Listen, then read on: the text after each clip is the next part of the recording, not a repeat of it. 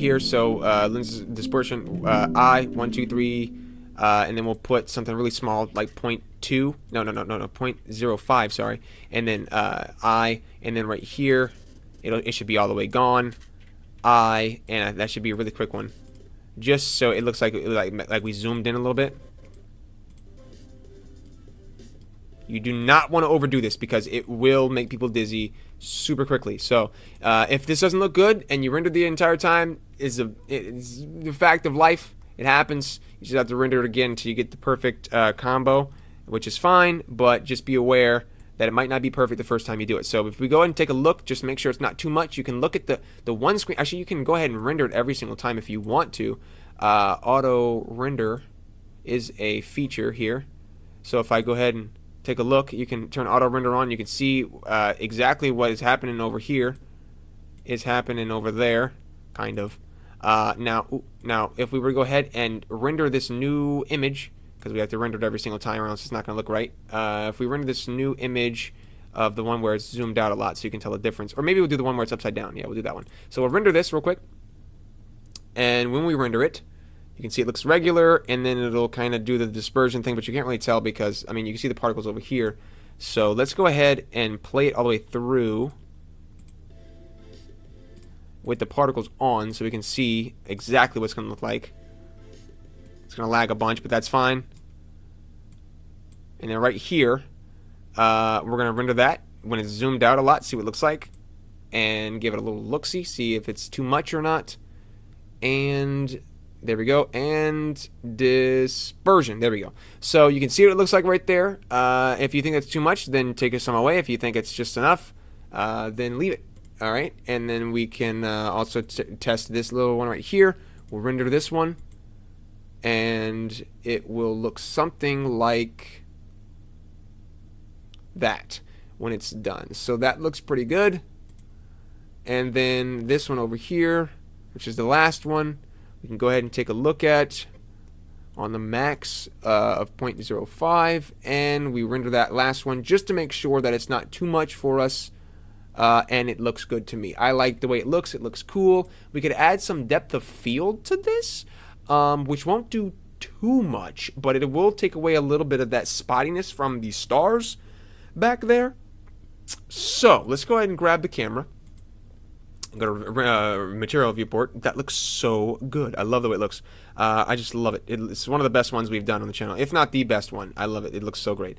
Um, we're going to go ahead and turn depth of field on here. Now you can see we need to turn up a focus distance, but we're going to go to camera, actually viewport display, sorry, and turn limits on and then go out of our camera so we can see what's going on, turn overlays back on and stuff so we can see where the limits are. We're going to turn the limit uh, focus distance up until we get to the text. So now it's we're, we're telling it pretty much that's where you're going to be focused on uh, when you're focusing on something. So we'll go back to the render viewport uh, shading there, and we can turn the f-stop to maybe 0.5.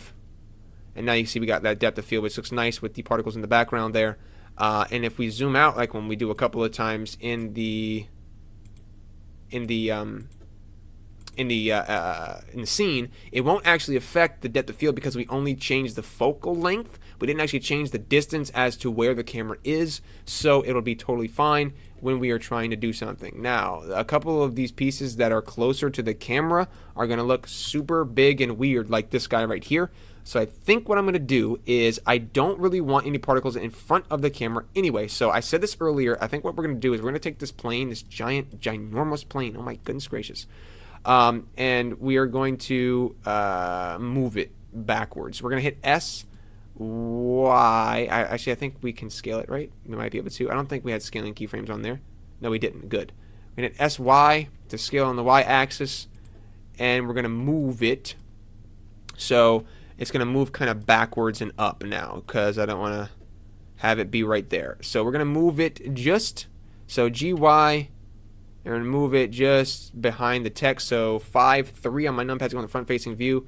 And then we hit, uh, where is that at? Right there. So hit GY and move it back behind the uh, behind the text so that it's not actually looking weird or anything like that. And we can also do the same thing for this right here. So uh, 5, 7 to go into the front uh, top facing view. uh, and we'll just move it back behind that red line and make sure that we hit I, location, and the same thing for this, G, Y, and an I location. There we go. So now it's not in the way of the camera, and it's not going to be in front of the text as well, which is which was a big pet peeve of mine as well. So now um, we have that rendered. It will look something like this, which looks nice because we have some depth of field going on, and we also have them not in the way of the camera, so they're not super big and super weird looking. Um, and also, where's my camera? Grab it right there. And we can mess around with the f-stop some more, really, if you want to. But I don't think going over that is too good of idea. I think the lowest we can probably get away with is 0.5 or 0.6. 0.4? 0.4. It's, I'm losing some of the particles like that, though. Yeah, I, I think I'm losing too many of the particles to want to do that, but I think it lo looks good still. So I think we might leave it on 0.4.